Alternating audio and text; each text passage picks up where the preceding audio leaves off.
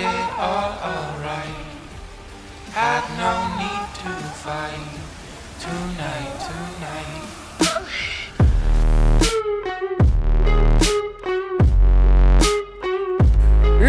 Fale molecadinha, tudo beleza? Aqui é o seu Manuelba e vamos comigo para mais um vídeo, galera. E no vídeo de hoje eu trago para vocês o vídeo para nós falarmos mais uma vez sobre o PES 2020 aqui no canal. Dessa vez, pessoal, eu trago mais algumas novidades que foram liberadas nesses últimos dias sobre o game, porque como vocês bem sabem, ontem esteve rolando a tour lá na Argentina, onde tivemos sim algumas novidades relacionadas a esse país, e a Konami também liberou uma cena oficial da nova Master League, que é uma cutscene sensacional, uma cutscene insana demais, que hoje eu vou mostrar aqui pra vocês sobre a apresentação do Juanfran no São Paulo.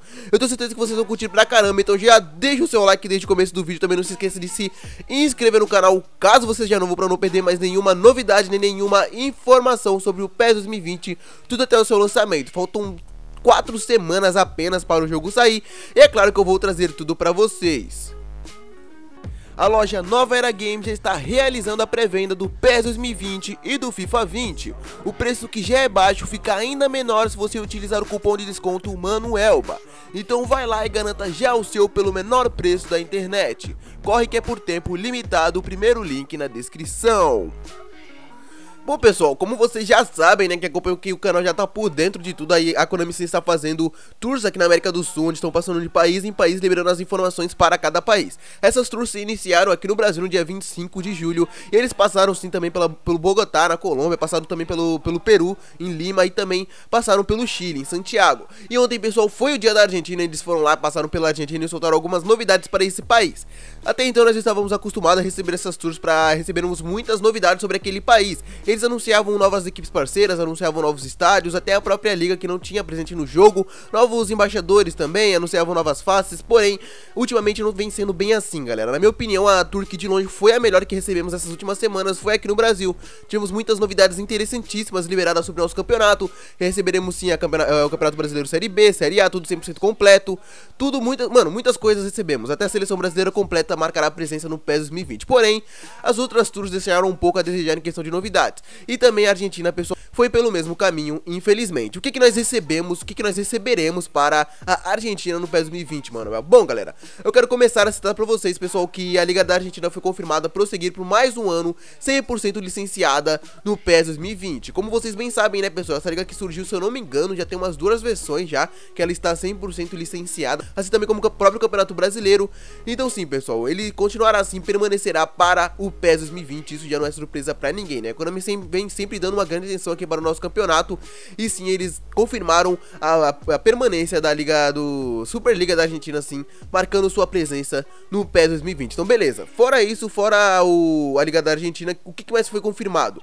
Bom, pessoal, foi confirmado sim também que as duas maiores equipes, não as duas maiores, mas as duas principais equipes do momento lá na Argentina permanecerão como equipes exclusivas para o PES 2020. Entre essas equipes temos o Boca Juniors junto a seu estádio José Armando, que é sim é, o estádio La Bombonera, eles permanecerão exclusivos, ou seja, a equipe e o estádio será exclusivo para o PES. Fora isso também, pessoal, o River Plate, que é outra equipe que estará exclusivamente no Pro Evolution Soccer junto a seu estádio El Monumental. Ou seja, teremos é, não só as equipes, mas também os estádios de fora do FIFA 20. Então, beleza, teremos essas duas equipes, na minha opinião, atualmente são as principais equipes do país que estarão sim exclusivamente para o game. Então isso é bem legal e bem interessante. Como que eles estarão no FIFA, Manuelba? Simplesmente da mesma forma que está a Juventus atualmente, ou seja, 100%, não 100%, eu não vou falar 100%, mas parcialmente genérica, com seus escudos e logos completamente genéricos. Vocês estão vendo na tela como é que está o River Plate para o FIFA 20, o pessoal estará com o nome de Núñez Sim, com um escudo parecido um pouco com a da seleção argentina, né, galera? E também a, o Boca Juniors estará com o nome de Buenos Aires, ou seja, o River Plate estará retratado como Nunes e o Boca Juniors será o Buenos Aires no, PES, no FIFA 20, no caso, né, galera? Então, sim, teremos as duas equipes completamente genéricas exclusivamente para o PES 2020. O que tivemos mais fora isso, Manuelba? Infelizmente, não tivemos mais nada anunciado no evento, ou seja, as mesmas coisas que estavam no PES 2019 permanecerão para o PES 2020. Infelizmente, não temos mais informações sobre novos estádios presentes no game. Isso teremos que esperar mais pra frente, mas eu acho que não sairá mais nada. Eu acho que o que eles tinham basicamente pra anunciar é a permanência dessas mesmas coisas que estavam no PES 2019. Então os mesmos estágios, as mesmas coisas que estavam no PES 2019 prosseguirão para o PES 2020 sem nem inclusão de nenhuma coisa nova. É claro que deve ter novas faces, como sempre tem, mas fora isso eu acredito que nada. E agora, pessoal, eu quero trazer pra vocês a nova cena, a nova cutscene que foi liberado para a Master League nesses últimos dias. Se eu não me engano, foi bem no dia de ontem. É, na verdade, já faz mais de uma semana, mais ou menos, que o Ranfran foi anunciado pela equipe de São Paulo. O Ranfran até então jogava no Atlético de Madrid, né, que não é licenciado no PES, na real é totalmente genérico. Então, sim, isso pode ser um dos motivos pela qual as pessoas criticaram um pouco a sua face. Mas beleza, eles não mudaram a face, eles simplesmente foram lá e anunciaram o Ranfran através de uma cutscene em seu Twitter oficial. E essa cutscene é uma nova cutscene que teremos na Master League e é bem legal. Eu achei isso interessante eu trazer pra vocês. Vocês já estão vendo lá de fundo, mostra assim o jogador em sua coletiva de apresentação na equipe e mostra que ele não está com um terno, né, galera? Como é comum no PES, né? O jogador se apresentar com um terno, que é algo que não acontece. Ele está com o uniforme de treino ou aquela camisa polo, né, da equipe, que depois que ele for trocar de camisa, ele vai lá, tira aquela camisa, coloca outra camisa do São Paulo, mas infelizmente infelizmente não vemos essa cena nessa primeira cena, né, pessoal? Vemos a camisa do São Paulo lá, em um manequim do lado dele. Até então era para aparecer ele botando a camisa do São Paulo, beleza, se apresentando, mas isso não apareceu. Mas foi bem legal, mano. não vou criticar, curti pra caramba essa nova cutscene, ficou sensacional, fenomenal. Ainda mostra ele dando algumas palavras, falando que agora ele, o sangue dele é vermelho, preto e branco, e agora ele é tricolor. E, mano, achei isso bem legal, toda essa cena. É claro que terá mais cenas, não terá só essa, porque senão vai ficar muito enjoativo ver toda essa cena. Toda que você contratar alguém, mostra essa cena, não. Teremos muitas cenas novas de transferências e também de apresentação, mas essa do Ranfran eu achei que ficou simplesmente sensacional.